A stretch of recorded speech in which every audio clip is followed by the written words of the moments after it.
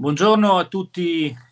i fan, chiamiamoli così, di Sottosopra. Oggi parliamo di Libia e ne parliamo con una persona che ne sa molto, Federica Saini Fasanotti, che oltre che essere analista per l'ISPI e per la Brookings Institution di Washington, ha un'esperienza personale eh, che deriva dai suoi studi, ma anche più recentemente dal, dal, dal, dal suo ruolo relativa alla Libia che è sicuramente molto interessante. Intanto buongiorno a Federica buongiorno, buongiorno a lei e a tutti i vostri ascoltatori e osservatori. Grazie per, per il tempo che, che, ci dedica e non solo il tempo. Allora, partendo appunto eh, da questa esperienza, lei eh, ha avuto come dire, l'onere e l'onore di eh, fare da consulente proprio sulla Libia e sui problemi della sicurezza e del terrorismo in Libia per eh, James Mattis, il eh, capo del Pentagono, cioè il, il, ministro della difesa americano, e poi di relazionare proprio sempre sulla Libia e sui problemi della sicurezza in Libia eh, davanti niente meno che al congresso americano. Eh, se ci vuole raccontare un po' di queste esperienze, anche diciamo dal punto di vista personale, credo che parlare al congresso non sia cosa di tutti i giorni. Ecco. No, no, assolutamente, è stata una fortuna e un onore incredibile, ehm, assolutamente inaspettato perché la mail di, di, uno dei collaboratori di uno dei congressmen è arrivata così, io pensavo all'inizio fosse uno scherzo, invece sa tipo candy camera, invece era una cosa vera. E, ehm,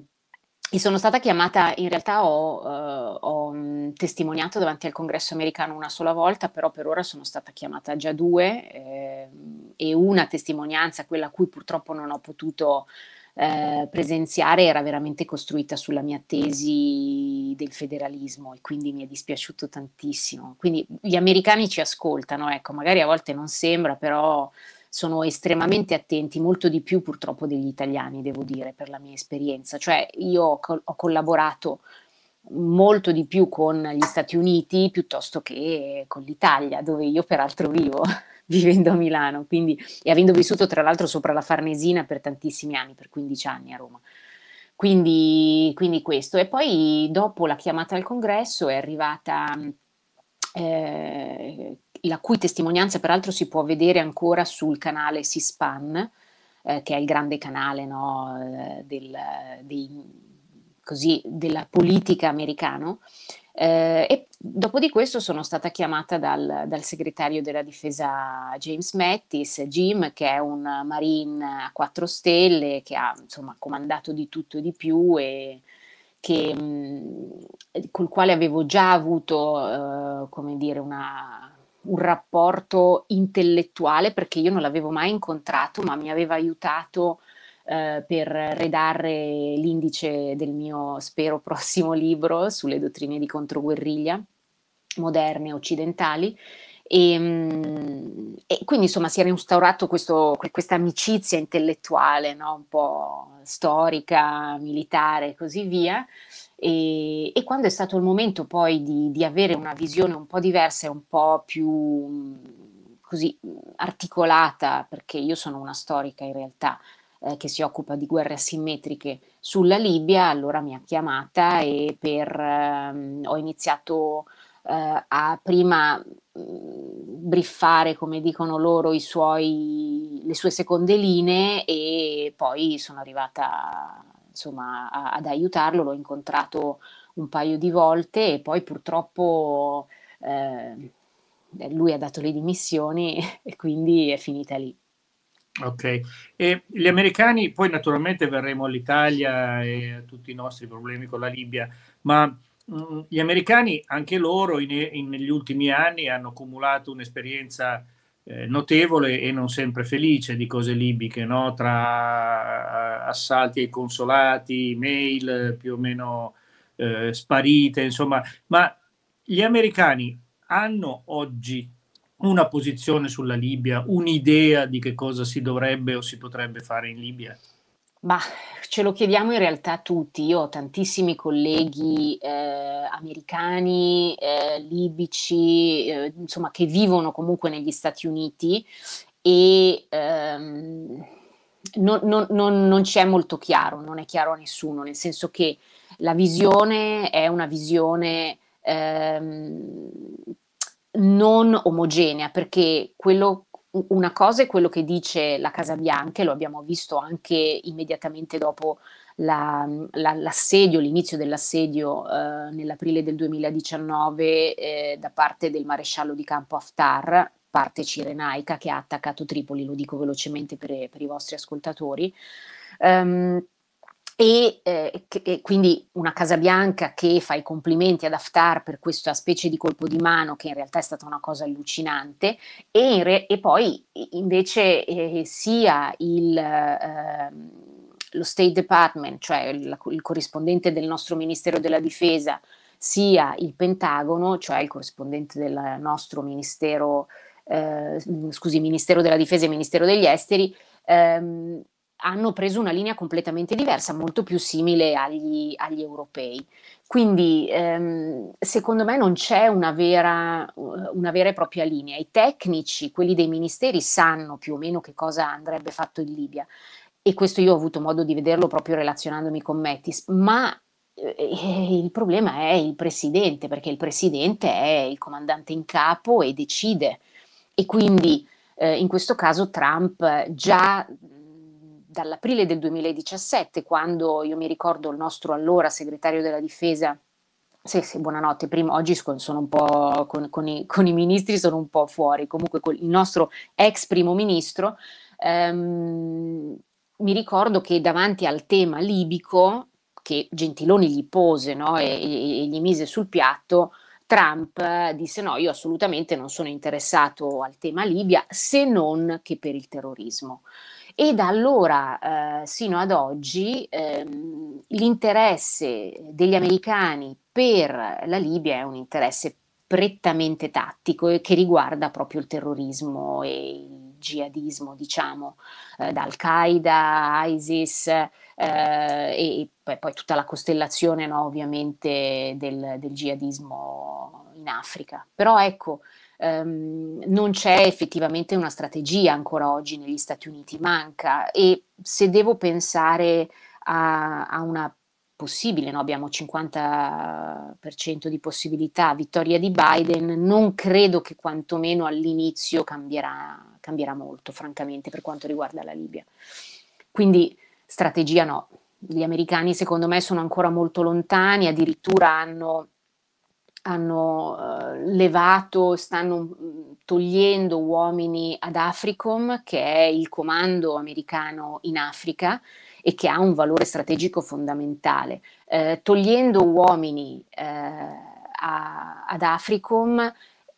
si diminuisce la portata ehm, di, di, dire, di, di spinta a livello geopolitico degli Stati Uniti nel continente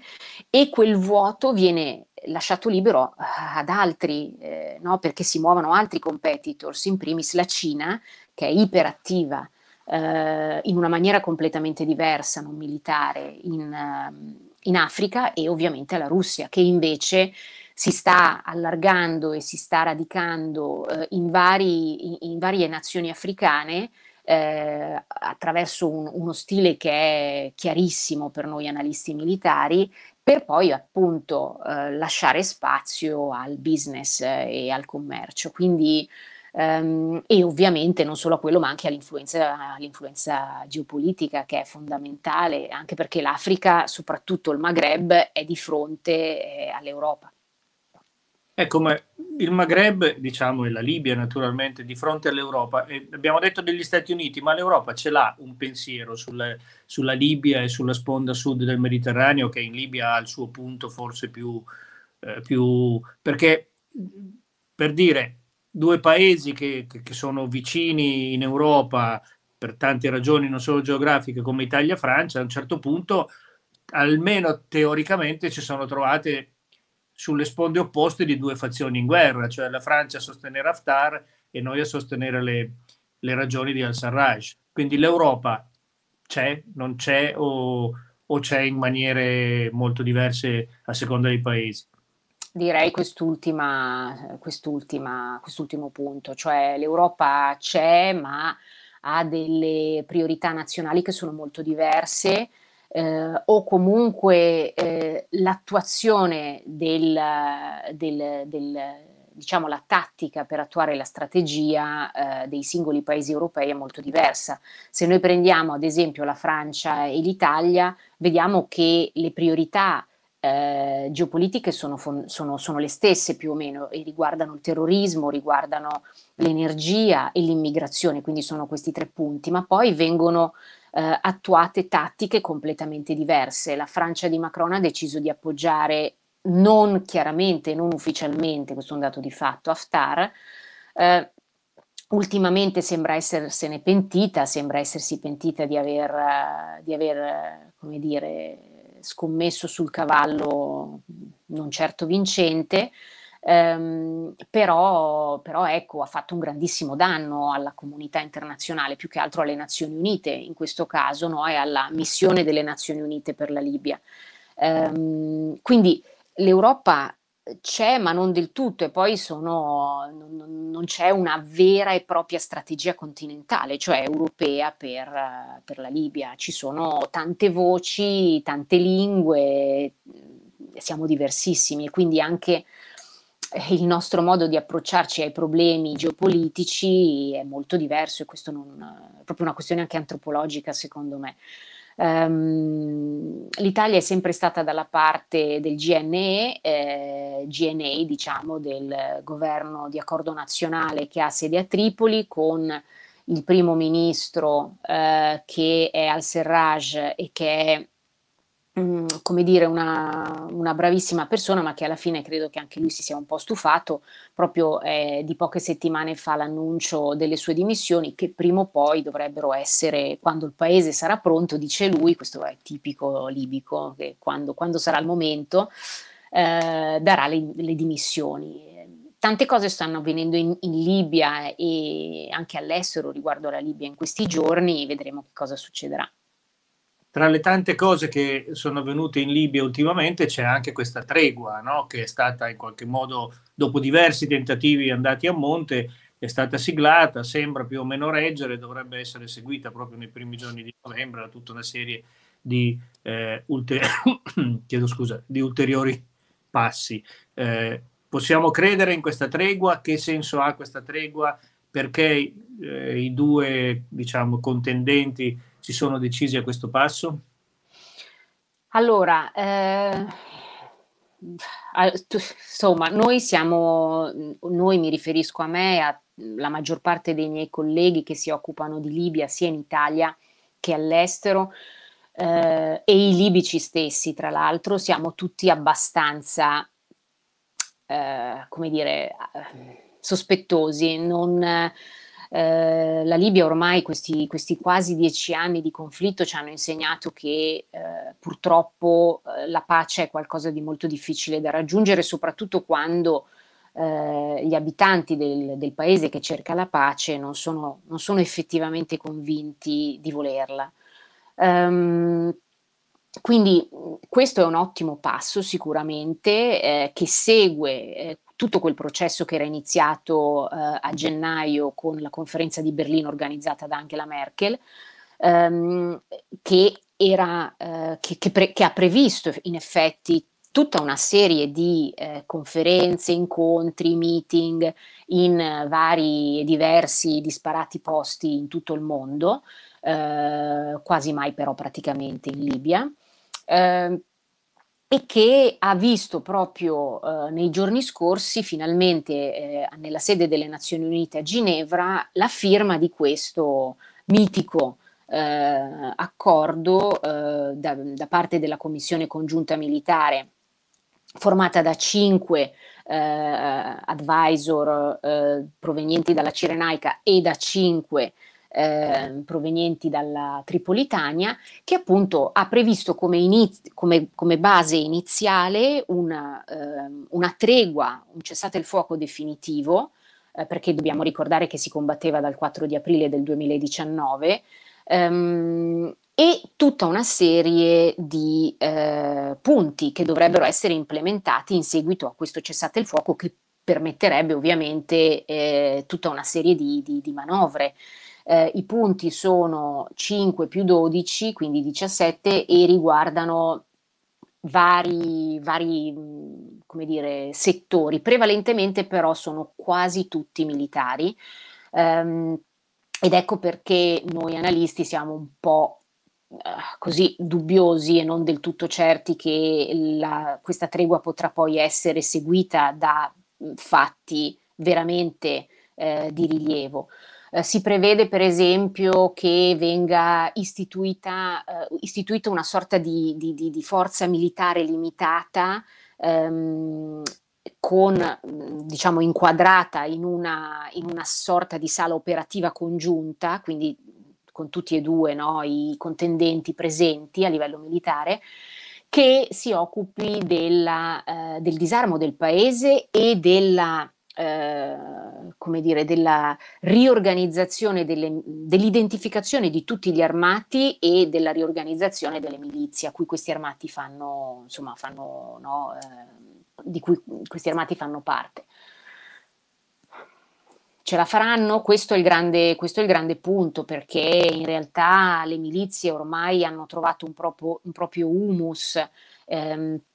ehm, sociale, una propria realizzazione economica eh, e quindi è difficilissimo che le milizie spontaneamente eh, cedano le armi. Quanto questa eh, forza militare libica limitata eh, e piccola sarà in grado di, eh, di far valere no? Eh, le regole definite dalle Nazioni Unite e dai rappresentanti libici? Questo è il grande dubbio che tutti noi abbiamo, ovviamente, che è assolutamente legittimo.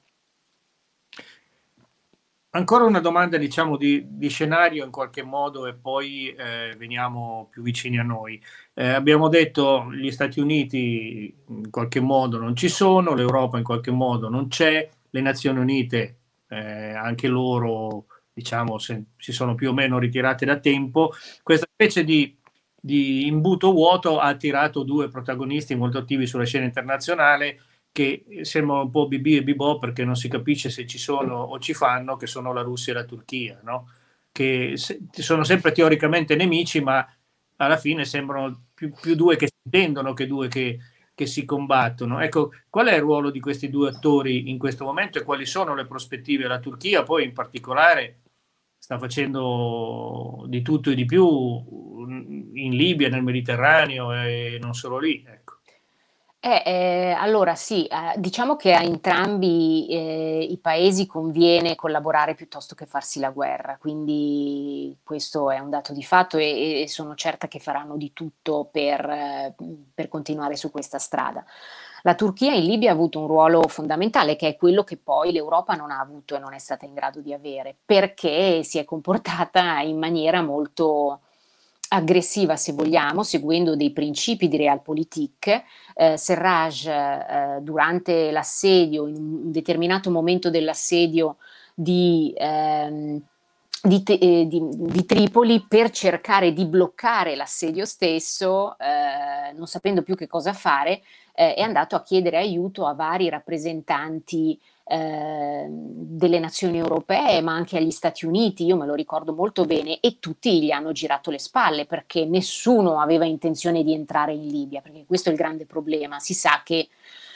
la Libia può, può essere, noi italiani lo sappiamo bene, eh, storicamente una palude da cui è difficile uscire. Quindi eh, tutti insomma hanno puntato sulla carta della diplomazia che però in quel momento non, funzionava e non valeva perché eh, Tripoli era sotto assedio e bombardata. Eh, la Turchia, dopo aver firmato un accordo per l'appunto connesso, come diceva lei prima, alla, alla eh, tutta una serie di dinamiche eh, legate al, all'energia, al gas nel Mediterraneo orientale, eh, dopo aver firmato con la Libia una specie di memorandum che concedeva da parte della Libia no, l'accettazione di una determinata zona ehm, eh, del Mediterraneo alla Turchia, eh, dopo questo la Turchia è intervenuta proprio militarmente in maniera ufficiale, eh, con, non tanto con propri uomini quanto con truppe mercenarie di base, in questo caso siriane. Um, ma non solo, la Turchia aveva appoggiato già il GNA in maniera uh, pratica attraverso advisor turchi, questa volta provenienti dal, dall'esercito turco e però quindi molto insomma cherry picking molto tecnici e professionali e soprattutto pochi ehm, e poi ov- ovviamente fornendo droni, armi ehm, jeep macchine corazzate, quindi insomma dando un aiuto sostanziale. A questo punto, nel momento in cui la Turchia è entrata così eh, a gamba tesa, eh, io credo che sarà molto difficile farla, farla uscire. Questo è un altro dei problemi che sono stati posti, che vengono posti no, da questa firma e da questo cessate il fuoco dello scorso 23 ottobre a Ginevra, cioè ehm, uno degli elementi, dei punti fondamentali di questo agreement riguarda proprio il ritiro di tutte le truppe eh, straniere dal territorio libico. Questo avverrà questo è il dubbio eh, grosso no, che tutti noi che osserviamo il paese da tanti anni abbiamo in questo momento, perché ci sembra molto difficile che dopo un simile investimento,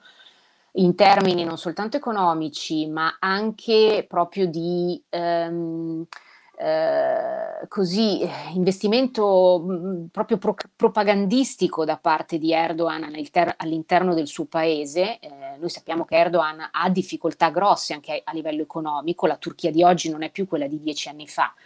e quindi alcuni atti, alcuni gesti eh, molto aggressivi di Erdogan sul Mediterraneo sono proprio atti a ottenere un certo tipo di consenso nazionale e a compattare il paese eh, verso di sé. Ehm, quindi ci, mi sembra, almeno personalmente, molto difficile che Erdogan eh, se ne vada e decida di non influenzare più il paese in questo momento. Stessa cosa eh, dicasi per i russi. I russi hanno attuato un, un, come dire, una strategia molto chiara che stanno attuando in tutta l'Africa, in, in, alcune, in alcune parti dell'Africa, in primis ehm, la Libia, ma anche il Sudan, la Repubblica Centrafricana, eh, di contrasto agli, agli, Stati Uniti. Gli Stati Uniti sono molto presenti con Africom, eh, sempre di meno purtroppo si diceva prima, però insomma hanno un grosso rilievo sia nella zona del Corno d'Africa per il controllo del eh, Golfo di Aden, sia eh, e insomma del, del, del, Mar Rosso anche e sia ovviamente nel Sahel eh, anche in, in unione alle, alle, truppe francesi e alle missioni francesi. Ecco, la Turchia diciamo è un, è, un, è un, ottimo ponte per arrivare a parlare dell'Italia perché l'ultima notizia che abbiamo avuto è che adesso la Turchia ha in qualche modo preso il controllo, il coordinamento di questa eh, cosiddetta eh, guardia costiera eh, libica, no? così tanto criticata. Ma facendo un passo indietro, io ricordo il momento in cui al-Sarraj eh, praticamente faceva il giro delle sette chiese per chiedere aiuto e chiedeva aiuto, era chiaro che cosa chiedeva, cioè se no un, un esercito in appoggio, almeno delle armi, de, de, de, delle mazze, dei randelli per poter qualcosa di mm. concreto per, per cercare di respingere Haftar che in quel momento sembrava un passo dal, dalla, dalla, vittoria finale. Ecco, eh, l'Italia è tra i paesi che, eh, come ha detto lei un attimo fa, gli hanno girato le spalle o quasi, o che comunque gli hanno dato molte più parole che, che, che fatti. Che cosa avrebbe dovuto fare l'Italia? E lo dico perché lo chiedo, anzi, perché la politica italiana in Libia, da, che ha avuto forse un suo momento di definizione eh, all'epoca del governo Gentiloni, ministro degli interni Minniti, da allora, compresi i partiti che sostenevano quel governo e, che, e, e di cui eh, Gentiloni e Minniti erano e sono espressione, questa politica dell'Italia in Libia è stata assolutamente criticata, no? Cioè sembrava che noi ci compromettessimo con, con i trafficanti di, di uomini, con i trafficanti insomma, eh, tutti sappiamo no, l'acqua che è scorsa sotto i ponti. Però se l'Italia ha, sostiene un governo come quello di Al-Sarraj, che è l'unico governo internazionalmente riconosciuto, peraltro, ehm, che cosa deve fare? Cioè, potevamo fare qualcosa di diverso, potevamo impegnarci un pochino di più, potevamo dargli delle armi, non lo, non lo so, potevamo fare qualcosa di diverso e corollario di questa domanda, eh, un paese come l'Italia può assumersi certi ruoli ancora oppure ha completamente rinunciato? Io sto pensando alla Libia, no? Cioè abbiamo delegato tutto all'Unione Europea, all'ONU, eh, insomma praticamente a chiunque, eh, oppure abbiamo ancora qualcosa da dire in contesti come quello libico e diciamo soprattutto con la Libia che è qui a un passo. Ma eh, dunque, eh, non sta a me dire come deve essere la, la strategia del Ministero degli Affari Esteri. Io eh, da osservatrice posso però dire che eh,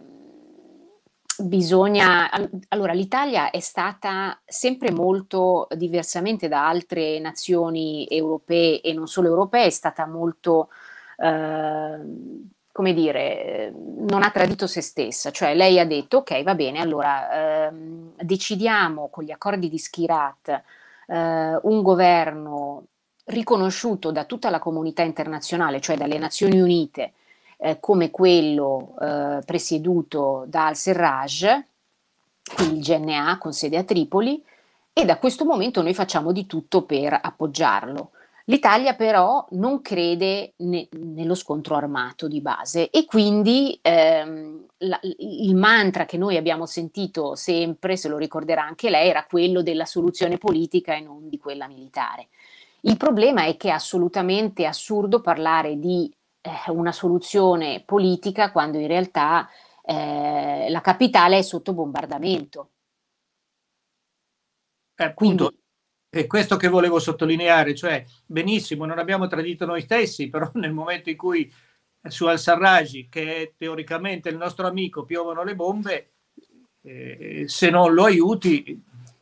Eh, questo, questo, eh, questa è la mia idea, ovviamente. Poi eh, sicuramente il Ministero degli Affari Esteri avrà un'altra visione, certamente. Io, se, eh,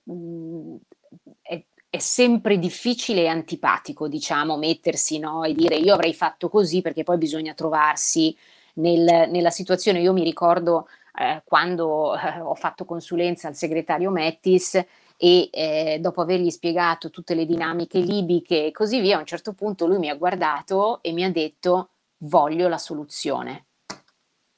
E, e, e a quel punto io gli ho detto ma la soluzione, aspetta, no, tu mi devi dare la soluzione. Quindi è facile dire eh, io farei così colà, però poi quando ci si trova effettivamente lì, come è successo a me, ecco perché quindi sono abbastanza rispettosa de- della fatica altrui, mh, mm, dico bisogna stare attenti perché poi bisogna avere tutte le carte sul tavolo che io in questo momento rispetto ai servizi segreti attivi in Libia, eh, all'ambasciata, eccetera, eccetera, non ho. Quindi questo è un dato di fatto. Da stra- come dire, strategist, come si dice nel mio mondo, no? nel, nel, mio think tank e eh, da conoscitrice, insomma, studiosa di Libia, direi che a volte, ogni tanto, essere in, come dire, impositivi e un po' più aggressivi serve, soprattutto in questo mondo, che è un mondo di eh, attori internazionali molto aggressivi e che eh, giocano senza, eh, come dire, proprio senza remore eh, in, ogni, in ogni scacchiere. E i russi sono veramente l'esempio più classico. Noi dobbiamo pensare che quando eh, ci relazioniamo davanti a un antagonista, che sia militare, che sia politico, dobbiamo eh, purtroppo, ehm, quantomeno all'inizio, nel momento in cui noi siamo reattivi e non proattivi, cioè nel momento nostro di risposta, se non siamo noi che abbiamo dato uh, il là uh, a qualunque tipo di azione, sia diplomatica che politica che militare, eh, noi dobbiamo adeguarci al linguaggio del nostro antagonista. Questo è il tema, che non, non è, secondo me, stato capito dal nostro, insomma, da, dalla nostra leadership in generale. E quindi sì, io avrei puntato di più i piedi, avrei fatto sicuramente più rumore. La consegna delle armi anche lì è molto delicato perché la consegna delle armi ai libici in quel momento avrebbe dato, eh, avrebbe eh, come dire, scardinato da parte dell'Italia, che è un attore internazionale eh, fair, diciamo per bene, avrebbe scardinato quello che è l'embargo delle armi che vige dal 2011 e che è stato rinnovato varie volte. Quindi anche lì consegnare le armi non è corretto. Lì si sarebbe dovuto mandare ovviamente incrementare il contingente che noi abbiamo già lì presente e si sarebbe insomma dovuto eh, chiudere, bloccare la città di Tripoli e, e aiutare i libici a difenderla. Però è una mossa che nessuno ha fatto effettivamente se non i turchi, è, è un modus operandi completamente diverso. Eh, noi dobbiamo capire che se vogliamo, eh, se vogliamo vincere le competizioni geopolitiche dobbiamo cambiare registro, questo, questo è il tema. In, ci sono mille maniere per farlo, però bisogna cambiarlo. Ma lei è d'accordo eh, con quello che dicono molti, cioè che in questo momento l'Italia, eh, a conclusione di questo processo, l'Italia che ha sempre avuto un ruolo fondamentale nelle, nelle questioni libiche, diciamo nel bene e nel male, ma comunque sempre molto importante, ecco, adesso l'Italia è un interlocutore del tutto secondario per la questione libica. È appunto quello che le dicevo prima, cioè ehm, se, se, noi dobbiamo combattere eh, personaggi che eh, appunto utilizzano le mazze, noi non possiamo eh, metterci davanti a loro con la penna, cioè eh, non, non, non, c'è competizione. E quindi questo è il mio tema, che bisognerebbe essere eh, molto più eh, aggressivi e, e, spietati sotto tanti aspetti, il che non significa andare a bombardare le città o fare chissà che cosa, assolutamente no, però significa essere aggressivi. Eh, d'altro canto bisogna anche osservare no, i vari ministri e, e presidenti che, che, che, con i quali noi poi ci relazioniamo, perché Lavrov, eh, come dire, l'ombroso eh, che ha fatto storia sull'analisi, anche se poi non è stato, insomma, non, non, ormai non vale più, strasuperato, eccetera, eccetera, ma insomma l'analisi lombrosiana no, dei tratti eh, dei tratti morfologici dei visi e dei volti dice tanto e se, se, noi osserviamo bene Lavrov, che è il ministro degli affari esteri eh, russo, eh, molto ci può dire. Sono personaggi che non hanno, insomma, che hanno un bel pelo sullo stomaco, che non si fanno remore, ehm, che sono abituati ad agire in una determinata maniera e che sono aggressivissimi, ma basta vedere anche la gestione della Russia, eh, proprio dello scacchiere libico, attraverso questi, eh, eh, questi, questi, questi mercenari, eh, questi gruppi no, militari eh, che si muovono e che in realtà hanno completo sostegno da parte eh, del Cremlino e fortissimi legami col Cremlino, ehm, ma che sono eh, straordinariamente flessibili e sono, come dire, un, un, asso nella manica pazzesco per Putin, perché più di una volta Lavrov l'ho sentito dire di persona proprio, ma mm, noi, mm, cioè il, il, il, Wagner Group, che è proprio questo gruppo no, specifico, operante e operativo in, in Libia, non è mica l'esercito russo. Noi non abbiamo nessun, nessun, nessun contatto con loro, nessuna connessione. E proprio poco tempo fa, durante un programma su Al Jazeera Arabic, eh, avevo eh, dall'altra parte un'analista russa.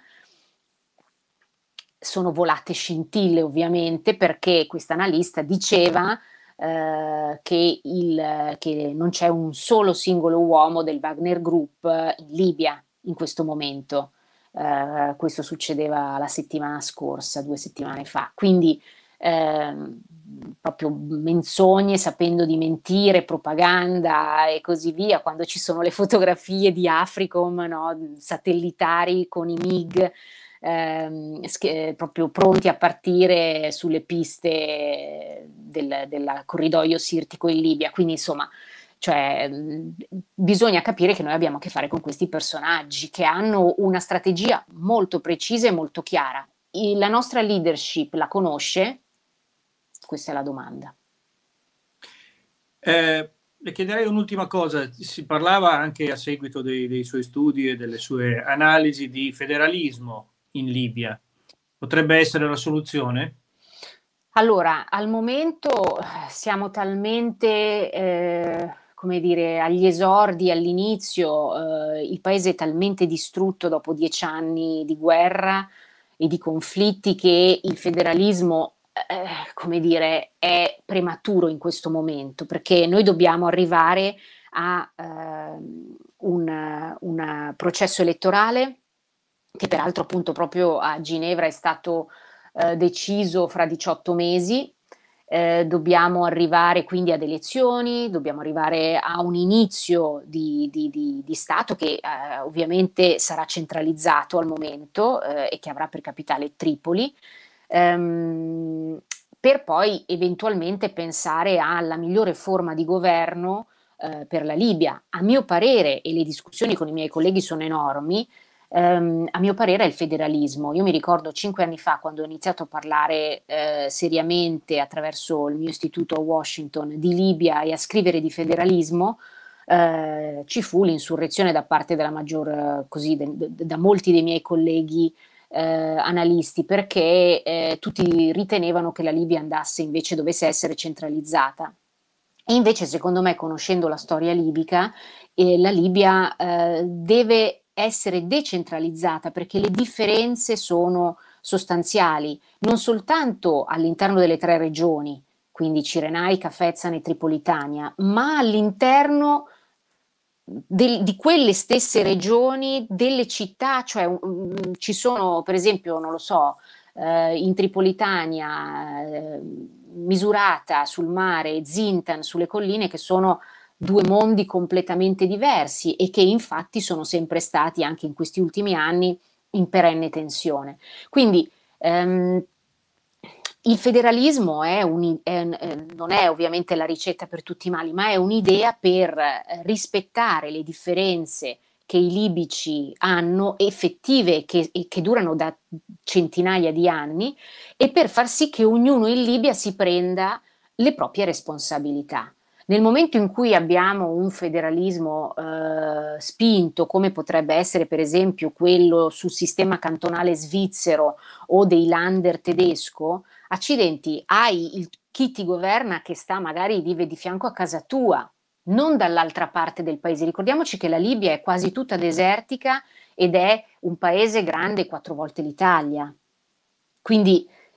è tutto molto diluito, è tutto molto più difficile. Raggiungere ehm, alcuni, no, alcuni, alcune città eh, o altre è difficilissimo, non ci sono le strade, non ci sono le infrastrutture, non ci sono le ferrovie. Quindi, insomma, eh, ricordiamoci che la litoranea è, eh, è, è stata ultime, uno degli ultimi accordi tra Gheddafi e Berlusconi, ma risale a pochi anni fa. Quindi la Libia è un paese da costruire nelle proprie infrastrutture ed ecco perché turchi e eh, russi sono, sono, in zona ecco, sono vicini, hanno già capito tutto. Ok, io la ringrazio molto, ringrazio molto Federica Saini Fagianotti per essere stata ancora una volta con, con noi per questi incontri di sottosopra. Le dico che se il ministro della difesa degli Stati Uniti mi chiedesse una soluzione mi verrebbe brividi, quindi a tutta la mia comprensione e la ringrazio ancora una volta, davvero è stato come sempre un grande piacere. Anche per me, grazie mille, buon lavoro. A presto, buon lavoro a lei. Buon lavoro.